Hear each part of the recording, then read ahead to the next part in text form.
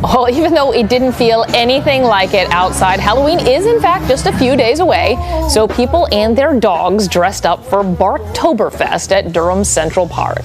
The event, hosted by Durham Parks and Recreation and the charity Beyond Fences, had music, food, and a whole lot of costumes. Chief Meteorologist Wes Hohenstein emceed the event. There were individual and group categories, and among the most popular costumes, tacos and hot dogs.